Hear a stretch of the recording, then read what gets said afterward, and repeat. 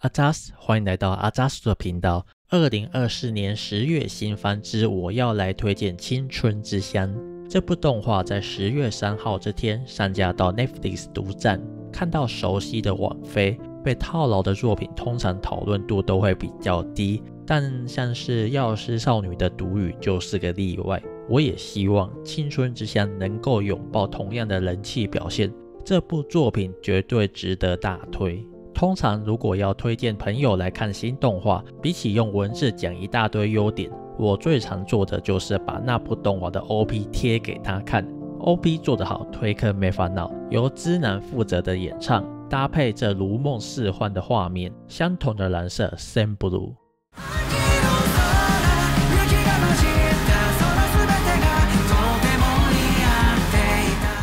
O.P. 画面是荒木哲郎操刀。如果你喜欢我内心糟糕的念头第二季的跳舞 O.P.，那么我想你也会喜欢这首。画面中的淡入淡出滤镜的效果运用，来自于摄影监督川下玉树。本人也在 X 发文表示，他在 O.P. 内努力强化光线的表现。成品相当完美的表现出青春与恋情的情境，滤镜风格很有回忆感。类似风格的作品可以参考春季的诗意头补。川下玉树也是担任这部动画的摄影监督，背景融合、滤镜、转场的运用，通常都是摄影监督的负责范围内。青春之乡的 OP，我认为它也完美对应了这部作品的标语：我的青春全部都塞在这个箱子里。箱子有多个隐喻意思。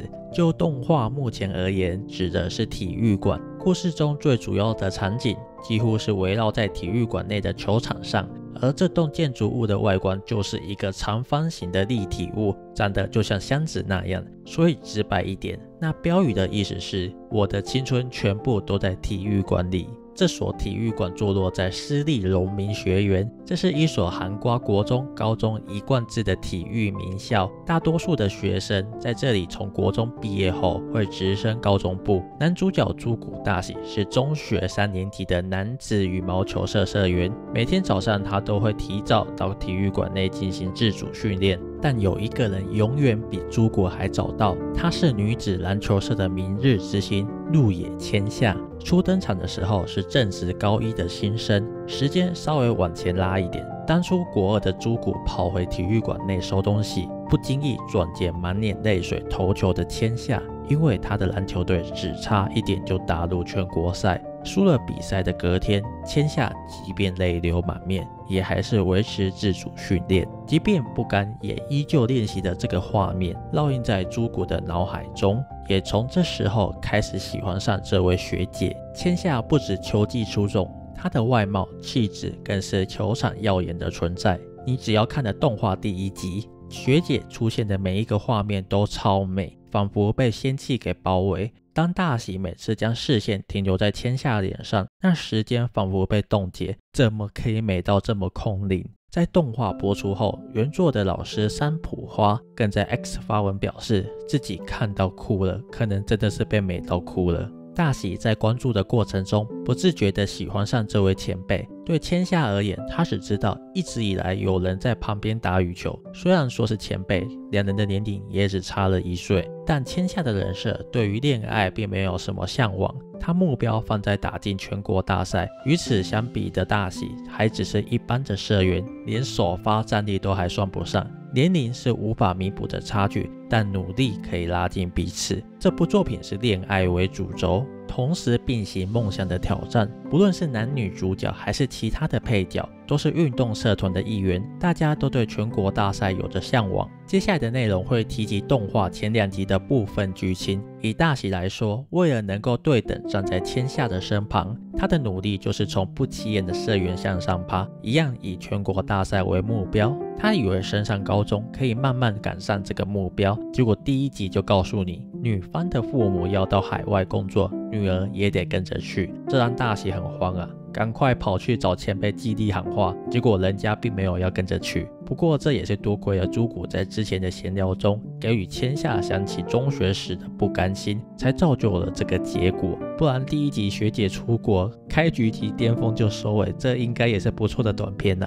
不要瞎掰好吗？千夏的父母让他留在日本，并暂住在妈妈的朋友家。听到女神还在，男主角自然就安心了，不用担心看不见前辈了。隔天一觉醒来，那个令人魂牵梦萦的前辈竟然出现在自家准备早餐。千夏的妈妈说的朋友家，正好就是大喜的妈妈。暗恋的天才前辈从今天开始住进家中，心动不已的同居生活就从今天开始。男女主角的同居是不是让人想到各种走光情节？不小心撞见浴室洗澡的情境呢？以上这些传统的媚宅表现，在这部作品内完全看不到。青春之乡在感情面是纯爱，在梦想面是挑战，两个目标都很单纯。感情线就是以大喜跟千夏为主线，虽然也有其他女角会登场，但主线的本质便不会有任何改变，因为打从箱子内相遇的开始。男主角就是情不自禁喜欢上那位永远找到默默苦练的帅气学姐。男方的感情很明确，不需要花费前期铺陈去渐渐喜欢上女方，或是到中期才意识到自己何时心动，这些都省略了。故事虽然是以朱古大喜的视角来看，但整体来说，描述情感转变的焦点其实是路野千夏学姐空灵的气质下，对于篮球以外的事情并没有太多的反应，而她看呆的表情也常常让人搞不懂她在想什么。或许就是因为这样，即使是校内的名。花有着丰富的异性缘，却始终没有人可以走入他的生活。而这个状况，直到入住朱古家后，一点一滴的产生变化。对外在校，两人是不同社团的朋友；对内同居，是情如家人的心灵支柱。恋爱这回事，看似没有比全国大赛来的优先，但那份在意对方的感受，正慢慢的酝酿。哪怕是冰雪的容颜，见到在意的人跟异性相处，也会因此动摇而融雪。知南的主唱藤原聪负责《三不露》的作词跟作曲，进入副歌的歌词意境真的很青春唯美的恋爱感。在春天与你相遇，在夏天为你着迷，秋天的粉雪是如此的与你相配。这里点出四季中的三季，而最后却不是以冬季收尾。藤原聪用接下来的这段话来代表象征恋爱的冬季。在无暇瞥见的世界里，向恋爱奔跑着，名为你的季节。不用白话的直男说法，用你的季节来收服你的心，这真的超级高招。这里很重要，各位男士记得抄起来。藤原聪用春夏秋跟冬季来形容你的季节，如果你有在看漫画，就知道。这是呼应大喜跟千夏从相遇到相恋的时间点，而动画的 BGM 是由大间间安来负责。他之前负责的作品是水星的魔女，可以预见在一些重要的情感戏应该会有出色的弦乐表现。之前也有在这部影片介绍过他，有兴趣的可以去看看。青春之乡的感情戏是属于细水长流的类型。围绕在球赛的情谊，那个温火真的是恰到好处。赛场上的细节可能不适合直接拿来跟运动方来对比，毕竟这部比赛的核心是透过比赛来强化信念。玩到题材会以为了某人而战。看似唯一的青春之乡也是一样的道理。比赛是为了坚持我们共同的目标。这部作品着重在内心戏的表现，这份心境许多时候用的是角色面部的特写来诠释。我特别喜欢漫画中的表情，尤其是那种揪心不甘心的情绪。三浦花老师真的画得很出色。韵律体操、俏皮可爱的小厨、羽球学长真身，都有几回让人感到不舍共情的文戏。但所有的角色虽然有过结果不如意的时候，却从来不后悔当初的选择。角色们的心态跟成熟度相当超龄，从这点就能看出作者细腻的情感世界。高中生的青春有着不符合年纪的沉稳。谈情说爱却不显娇柔造作，男女之间的细微小动作，渐入佳境的互动，不约而同的默契，这些细腻的共情铺陈，在这入秋的季节内，以连续两季的动画播出，跟着青春之乡迎来冬天的寒意，将带给你对恋爱的憧憬。大家好，我是阿扎。从这部影片之后，将会不定时的在正片结束的片尾处加入我个人的杂谈。